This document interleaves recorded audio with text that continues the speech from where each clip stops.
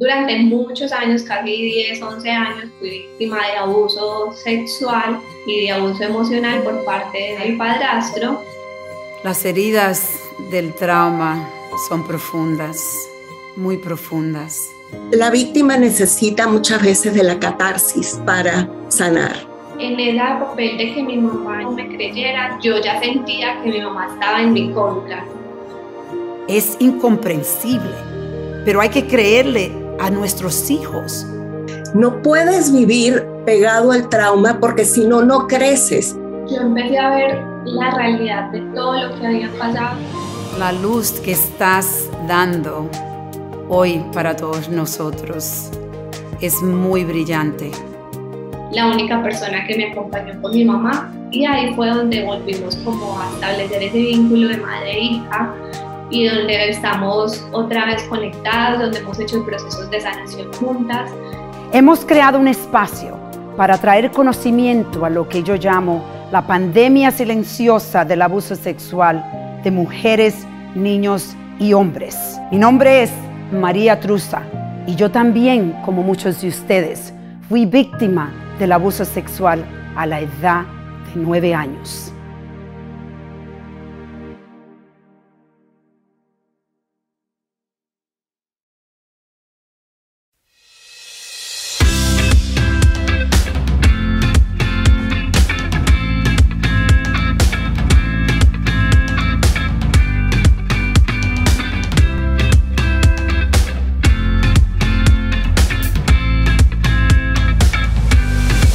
En el programa de hoy tenemos nuestra invitada Juliana, quien fue abusada emocional, físicamente y sexualmente por su padrastro cuando era una adolescente.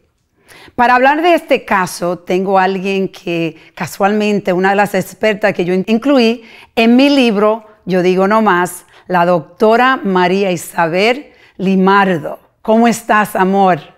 Muchísimas gracias por tu invitación y me encanta poder ayudar a todas aquellas personas que han sido víctimas de algún tipo de abuso, porque lo que les digo a todo el mundo es, hay esperanza y se puede salir, y se puede salir triunfante.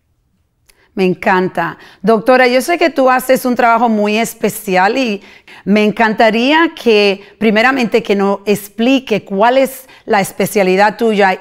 Claro.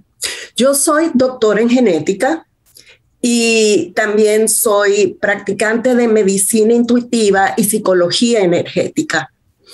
Eh, formo parte de la Asociación Internacional para la Psicología Energética Integral de Estados Unidos. Me encanta. Es algo, este trabajo que tú haces es un trabajo tan necesario.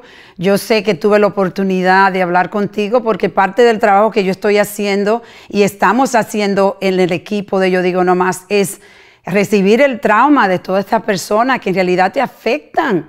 Y hay diferentes técnicas que tú me enseñaste al principio para yo poder eh, centralizarme un poco más, porque el trauma tenemos, es algo que yo digo y te pregunto a ti, es algo que tendremos que siempre trabajar, pero se trabaja, la idea es trabajar menos.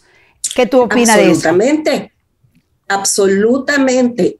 No puedes vivir pegado al trauma porque si no, no creces.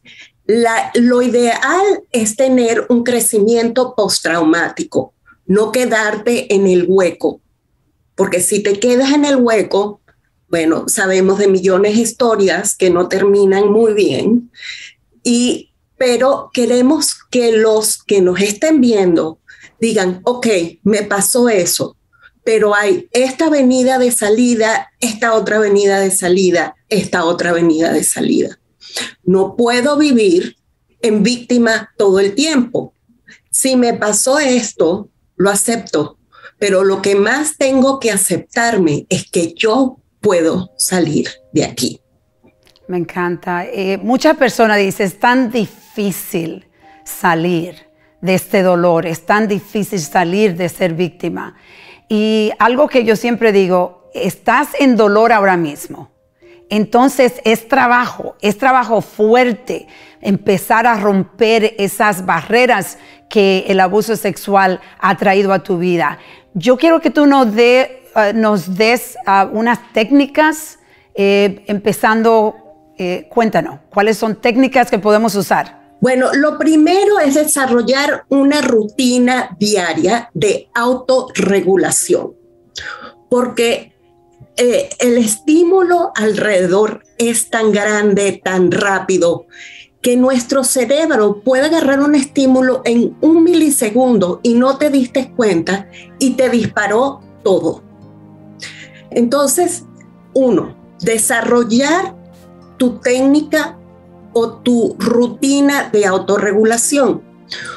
Una de las cosas que yo les digo a las personas que han sido traumatizadas es, trata de alejarte de cosas negativas, trata de escuchar, oler, comer, ver, cosas que te nutran todo el tiempo.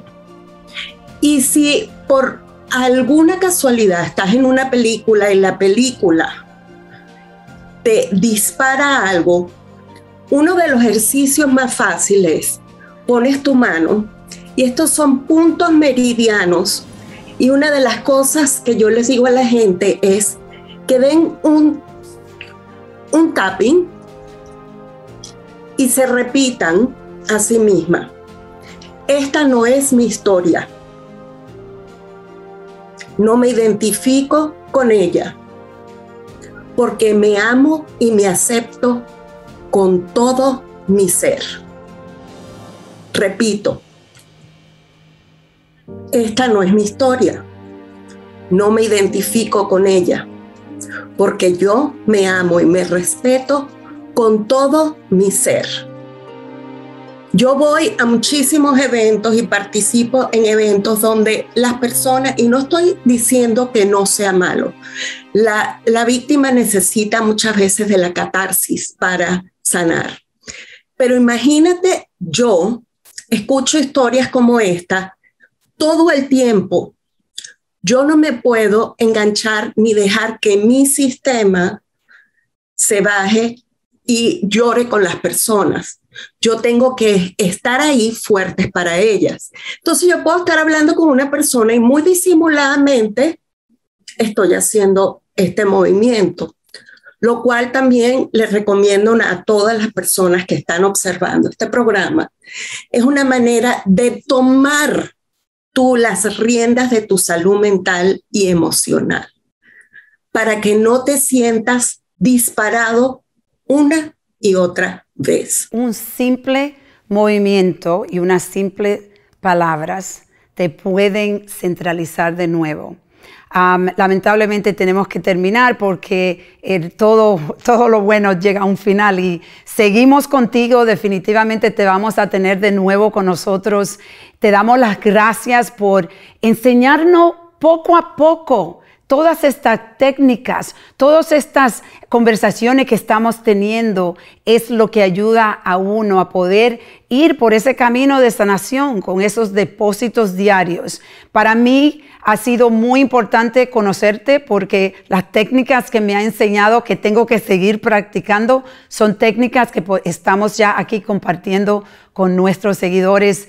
Eh, doctora, gracias, gracias por el trabajo que haces y que Dios te dé mucha salud para que siga impactando a nuestro, las personas que han recibido trauma en su vida. Te queremos, cuídate. Gracias, gracias por la invitación. Bye bye. En nuestro segmento de inspiración tenemos una invitada especial desde Colombia. Estamos trayendo invitadas de diferentes países y estamos muy felices porque tantas personas están empezando a romper el silencio con yo digo nomás por primera vez. En por primera vez tenemos a Juliana Pereira que es una instructora certificada de yoga con nosotros para contar su historia de abuso sexual en su infancia. Bienvenida, Juliana, ¿cómo estás? Hola, muchas gracias María por esta invitación. Yo estoy muy bien, espero que tú también estés muy bien. Sí, Juliana, me siento eh, aquí para decirte la verdad, muy inspirada contigo, porque yo sé que por primera vez tú estás rompiendo el silencio, que es algo que es muy difícil, como estaban hablando, es difícil, pero es necesario. Vamos a, a conocer un poco, vamos a conocerte un poco. Cuéntanos de ti. Bueno, mi nombre es Juliana, soy de Medellín, Colombia. Eh, toda mi vida he estado pues acá en Medellín, tengo 30 años. De profesión soy administradora de empresas, pero por cosas de la vida que hablaremos un poco más adelante, me formé como profesora de yoga, como en India, y eso me ha permitido pues estar en este momento trabajando y haciendo lo que amo en estos momentos. Entonces, ahora tú eres una profesora de yoga eh, tiempo completo. Sí, yo me dedico a dar sesiones personalizadas virtuales son sesiones uno a uno porque he entendido pues que el cuerpo de todos es diferente y que a veces necesitamos un espacio y un lugar seguros y eso es lo que yo quiero brindarle a las personas a través del yoga. Sabes, eh, Juliana, yo estuve escuchando un libro que dice, se llama El cuerpo lleva la cuenta. Y él, este psicólogo, habla mucho de la importancia del yoga cuando viene a, las personas, para ayudar a las personas de trauma a empezar el proceso de sanación. Es parte de sanación porque una de las cosas que pasa con personas como nosotras que hemos sufrido este trauma es que nos desconectamos de nuestro cuerpo. Es como si hubiera un espacio entre el alma y el cuerpo. El, el yoga eh, tú ahora mismo es algo que lo haces, ha tenido personas que hablan contigo de su trauma o, cuéntame, ¿es, es, ¿ha tenido esa experiencia? La experiencia principal ha sido conmigo misma, porque como tú dices, eso es un trauma que a través del cuerpo se puede sanar. He tenido experiencias con otras personas no tan profundas como las de un abuso, pero sí han sido terapias que han podido permitirle a la gente reconocerse y experimentarse y saber dónde posiblemente puede estar como esa rigidez o esa ruptura que hizo con su cuerpo y volver a conectarse con ellos, porque no solamente son las asanas, que son las posturas que vemos, sino que también es un tema de meditación, de respiración, y todo eso nos lleva a esa unión que finalmente busca el yoga, que es entre la unión entre el cuerpo la mente y el alma. Eso es lo que nos permite estas sesiones y ha sido una experiencia realmente muy enriquecedora porque todas las personas como que han podido estar conmigo se, se meten tanto en su cuento, se meten tanto en su cuerpo y yo también como que les acompaño en eso que finalmente llegan a reconocer cosas que ni siquiera sabía que tenía. Tú le mandas esa energía positiva con el yoga. Eh, Juliana, vamos a hablar de tu niñez. Tú vienes, ¿cuántos hermanos tienes? ¿Hermanas? Bueno, yo tengo un hermano que es menor, cinco años menor que yo, y pues éramos mi mamá y su esposo, pues ya ahora su ex esposo ya ahora. Hablando del ex esposo, ese fue el padrastro tuyo, ¿por cuánto tiempo? Eh, por 26 años. Cuéntanos, cuéntanos de él, ¿cómo fue la relación con él del, del principio? ¿Cuántos años tú tenías cuando él se casó con tu madre? Yo tenía aproximadamente 3, 4 años cuando mi mamá se, se empezó a relacionar con él, se casaron y pues ya vivieron mucho tiempo juntos hasta que pues ya la relación se terminó en, ese, en esa situación. Eh, yo toda la vida viví con ellos, viví con mi hermano, con mi padrastro, mi mamá, yo siempre éramos los cuatro. Eh, y pues desde ahí empieza como toda, toda la historia que hay detrás de, de esa niñez. Cuéntanos, cuéntanos esa historia durante muchos años, casi 10, 11 años, fui víctima de abuso sexual y de abuso emocional por parte de este señor, de que era mi padrastro. Eh, aproximadamente a los 13, 14 años, él empieza con acercamientos muy diferentes a los normales Eh, obviamente en esos acercamientos hace énfasis en que como persona o como yo era una niña, nadie me creía, nadie me iba a creer, entonces que mejor no dijera nada. Como esa típica frase que dicen calladita se ve mejor, algo así.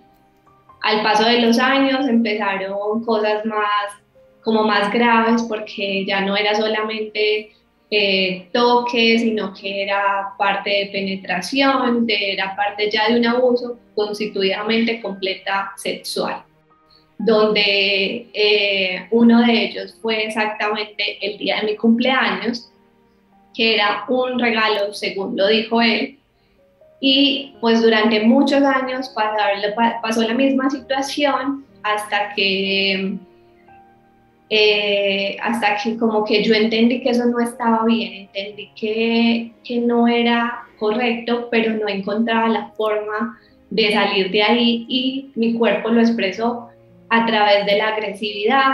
Estaba en el colegio, entonces el rendimiento académico disminuyó. Eh, yo no quería quedarme sola en la casa porque no me sentía segura pero tampoco era capaz de expresarlo por las intimidaciones y la manipulación que pueden llegar a tener estas personas de decir y de hacer cosas que uno cree como la única salida y que al ser ellos los que tienen la única verdad, según uno como víctima, uno los ve a ellos como un salvador y eso hace que uno no ame. O sea, eso es, el, eso es lo más grave de la situación que hacen todo un cuento, hacen toda una manipulación y toda como una red de mentiras que uno termina las todas y como uno no ha formado en esa edad todavía una personalidad o no ha formado un carácter porque se lo derrumbaron en el momento que hubo el primer abuso, no hay forma de romper ese silencio en ese momento. ¿Tú algún día le dijiste a alguien lo que estaba pasando? En el colegio, al ver que yo estaba tan agresiva, que yo estaba pues con mi rendimiento académico tan bajo, eh, la primera persona con la que hablé fue la psicóloga del colegio, que posteriormente llamó a mi mamá, le contó a mi mamá y luego yo tuve que volver a contarle a mi mamá porque pues al inicio ya no me creía, o sea, me decía, pero si era esto, si es un abuso, o sí, o qué te ha hecho, o sea, ella empezó a preguntarme como inquieta e incrédula, no por mí, sino por la situación que estaba pasando, porque ella no podía creer que en su propia casa estuviera pasando todo lo que pasaba y todo lo que en algún momento le pude contar a través de otra persona. So, en la escuela te ayudaron a ti a poder empezar a romper el silencio.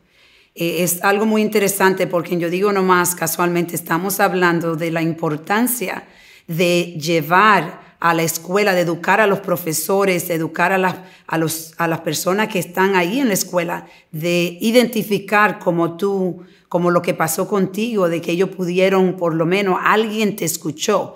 Pero tu madre, después que ustedes se fueron a la casa, ¿qué pasó entonces después que ella supo lo que, lo que había pasado con tu padrastro? Pues ella trató de, de hablar con la persona, con en ese entonces su marido, pero pues obviamente sus manipulaciones eran tan fuertes y con un poder de la palabra tan convincente que le logró como hacer creer a mi mamá que no había pasado nada, que no había ninguna alerta, ninguna, ningún abuso. Y finalmente, después a los años, en ese papel de que mi mamá en esa primera vez no me creyera, yo ya sentía que mi mamá estaba en mi contra, que ya creía que había sido por mi culpa lo que había pasado. Y eso fue muy fuerte para mí porque ya en ese momento yo me sentí sola y yo ya dije, yo ya no quiero volver a hablar, yo ya no quiero volver a decir porque si mi mamá no me creyó, ¿quién más me va a creer? Tenemos que hacer tanto trabajo con los padres, eso es lo que estoy viendo. Hoy me siento aquí y ya he hecho tantas entrevistas y escucho lo mismo. Mi madre no me creyó. mi madre no me creyó. Es, es algo que es necesario. Tenemos, por eso tenemos que empezar a romper el silencio y unirnos para que los padres que están escuchando este, esta entrevista se den cuenta que cuando un niño o una niña dice que algo pasó, es como tú estabas diciendo, Tú, tú, no te imaginas lo del sexo, tú no vas a, a, traer, un niño no está pensando en esos detalles. Y los padres quieren imaginarse de que es algo que existe en la imaginación del niño. ¿Por qué? Hay que preguntarse por qué. Y lamentablemente entendemos a tu madre. Es que es incomprensible de que tú creas que la persona que tú amas, que se está yendo a la cama contigo todos los días, esté haciendo algo tan brutal. Es incomprensible, pero hay que creerle a nuestros hijos. Mira en tu caso, cuando la relación con tu madre después que esto pasó, ¿qué pasó con esta relación? Pues ya yo opté por una postura de silencio absoluto, de sumisión casi, porque yo hacía lo que se me ordenara o lo que en mi casa me dijeran que era lo correcto hacer, entonces yo no me salía como de ese guion que nos imponen en la familia o en la sociedad. Mi mamá empieza a distanciarse, yo también empecé a distanciarme y finalmente eh, el maltrato no solo era conmigo a nivel emocional, sino que era con todas las personas que compartíamos en algún momento espacios con este señor. Y era como de cuando tenía sus problemas como de alcohol y llegaba eh, como borracho a la casa, eran problemas de maltrato emocional con mi mamá, con mi hermano, conmigo. Y mi mamá ya en un momento se cansa de eso y se va de la casa sin decirme nada, sin decirle nada a mi hermano. Y eso nos hizo creer también el ex marido de ella, que ella se había ido por elección propia y no nos había querido decir. Pero la verdad fue que ella se fue y sí nos quiso decir, pero él no dejó. Entonces ahí también entrar eh, como a decir, como tú decías, como culpabilizar a mi mamá o culpabilizar a mi hermano es como algo demasiado injusto porque ellos de alguna manera también fueron como maltratados por esta persona. Y mi mamá se va y yo me quedo con, con ese señor en la casa porque no soy capaz de tomar la decisión de irme y no tenía ni siquiera el apoyo de mi mamá como de decirme yo voy por ti o te recojo o nos vamos porque él aisló, él hizo que mi mamá como que se desapareciera y yo tuve que quedarme durante cinco años más con la persona y para mí fue como los cinco años más oscuros que tenía en toda mi vida. ¿Cuánto, ¿Cuántos años tú tenías cuando eso pasó? Eh, cuando mi mamá se fue de la casa yo tenía 20 años. Wow. Cinco años más de tortura. Entonces, claro, ahí uno también como hijo bueno, toma y asume el rol de mamá porque mi hermano se quedó también en la casa, entonces yo era la hermana mayor, creé ese rol de mamá con mi hermano y de alguna manera eso dio pie a que el Señor creyera que yo quería seguir en esa casa. Yo solamente creo que lo hacía y que me quedé más que por mí, por mi hermano, porque yo decía que yo no quería que él de alguna manera viviera algo parecido a lo que yo había vivido. Mm. Y después tu madre, después de cinco años, ¿cómo se reunieron de nuevo ustedes? Yo tuve un episodio que me marcó mucho y fue como esa segunda oportunidad que me dio la vida y como cuando me llamó la atención la vida y me dijo, ya no puedes seguir haciendo esto, ya no puedes seguir viviendo, tienes que salirte de ahí a mí me da una enfermedad del corazón. Eh, estuve 10 días en, en un hospital, de un diciembre hospitalizada porque me dio una eh, enfermedad del corazón porque yo, cuando mi abuelita se murió, seis meses atrás de ese diciembre, yo sentía que era la única persona que de verdad me amaba. Y yo hice un cierre de corazón emocional y eso derivó en una enfermedad del corazón muy grave, que no podía caminar tres pasos porque yo me, me desmayaba completamente, no tenía oxígeno, no, mi corazón no estaba funcionando al 100%. Y cuando los médicos me dan el diagnóstico, yo siento que una voz me dice como, tienes que salir de acá, como sea, pero ya. Cuando yo estoy en mi recuperación, más o menos a los dos meses, llegó una situación que me hizo tomar eh, mis cosas, mi ropa, mi computador, que era el que donde estaba estudiando mi carrera, y salir inmediatamente de esa casa. Es una situación que no fue ni violenta ni grave, pero fue una situación que determinó ese nuevo comienzo para mí. Ahí fue donde yo llamo a mi mamá, ella me responde, me acompaña. Eh, hablamos de todo lo que ha pasado, de, cómo ella está, de cómo yo estoy, me acompaña en mi proceso de recuperación también porque me mandan terapias del corazón, entonces yo tenía que ir acompañada. La única persona que me acompañó fue mi mamá y ahí fue donde volvimos como a establecer ese vínculo de madre e hija y donde estamos otra vez conectadas, donde hemos hecho procesos de sanación juntas y donde yo aprendí a no recriminar, no a culpar ni a darle ningún juicio por lo que pasó, sino antes eh, agradecerle por estar presente hoy. Qué lindo. Eh, Juliana, ¿y tu hermano? ¿Qué pasó con tu hermano?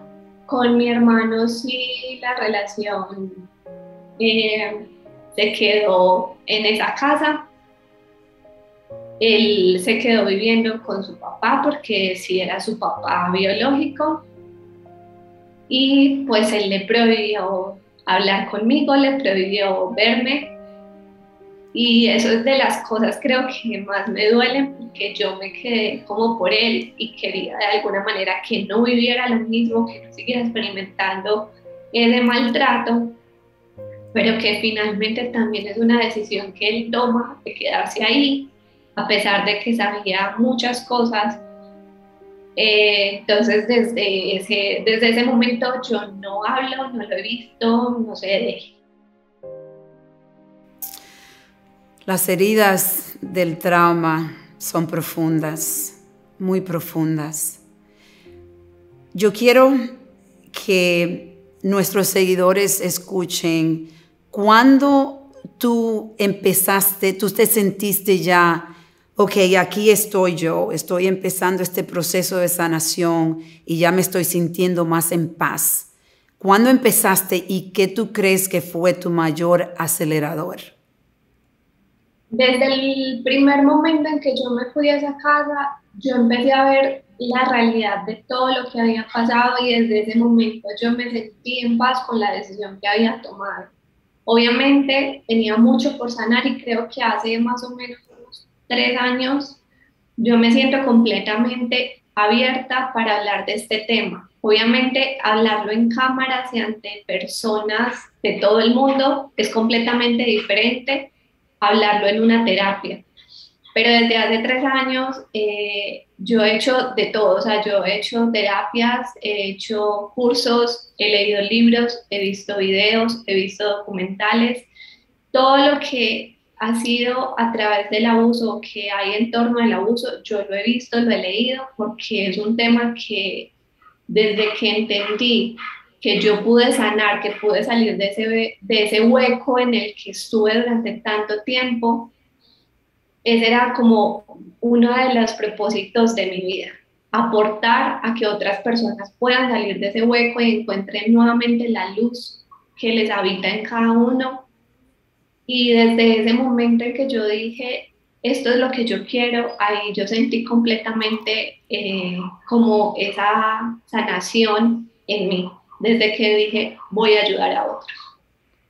La luz que estás dando hoy para todos nosotros es muy brillante. Es para mí, sinceramente, Juliana, un honor eh, estar aquí frente a ti cuando yo estoy escuchando tu historia es fuerte, pero es una historia necesaria de compartir. Hay tantos mensajes en tu historia y hay uno que estoy pensando como el cuerpo enseña lo que el alma siente. Tu enfermedad del corazón, eso para mí estoy segura que viene del dolor que tú sentías por dentro, como el trauma te estaba destruyendo como cáncer. Hay tantas personas en el mundo que están pasando exactamente esto. Están sufriendo y están siendo afectadas completamente de este cáncer. El abuso sexual es una pandemia en nuestra comunidad. Tenemos que cambiar. Hay que empezar a romper el silencio y tener el, ese valor como tú lo estás teniendo hoy de hablar y la, la herida, como estaba diciendo, la herida duelen. Esta es una herida que va a doler por el resto de nuestras vidas. Es algo que hay cualquier cosa, puede ser una película, puede ser una conversación que te va a, a, te va a empezar quizá a abrir un poquito la herida. Pero nosotros podemos empezar a cerrar por completo esas heridas aunque las heridas se puedan ver, pero es un proceso. Me encantó lo que tú dijiste, esto es un consejo inmenso para las personas. Todos los días tú puedes decidir, voy a ser víctima o voy a ser creador, voy a tomar control de mi vida empezando a escuchar eh, puedes ir a, a, leer libros, lo que tú estabas diciendo, a meditar. Hay tantas cosas, lo importante es no quedarse en la cueva porque sí hay una puerta que tú puedes abrir. Esa puerta es necesaria. Juliana, muchas niñas y niños están escuchando este, este show. Yo quiero que tú le dé un consejo a esos niños y niñas de cómo, si ellos están pasando por esta situación que tú pasaste cuando era niña, ¿Cómo pueden ellos ayudarse? Bueno, un consejo solo sería muy complejo. Creo que me voy a atrever a darles varios. El primero es a no callarnos, hablar y que cuando no nos crean, volverle a decir a otra persona, alguna persona a la que le digamos, nos va a creer. Así nos cueste mucho, es importante hablar. Además, también es importante saber que lo normal que nos están haciendo creer que es normal nunca va a ser normal. Si para nosotros es diferente, si nosotros no creemos que es normal, no es normal. Y lo último es que no somos las cosas que nos pasan, sino las cosas que hacemos con lo que nos pasa. Así que siempre podemos ver la luz al final del túnel y sacar lo mejor de cada una de las cosas que nos pasan. Qué honor Amor, qué honor tenerte aquí conmigo. Gracias, gracias por compartir e inspirarnos a todos nosotros. Yo estoy inspirada y yo sé que las personas que nos están escuchando también. Y por eso te pido, le pido a todos ustedes que como Juliana y como yo, ustedes pueden unirse a romper las cadenas del abuso sexual que destruye y oprime a nuestra comunidad latina. Y es suficiente. Tenemos que decir juntos, como Juliana y yo, no más.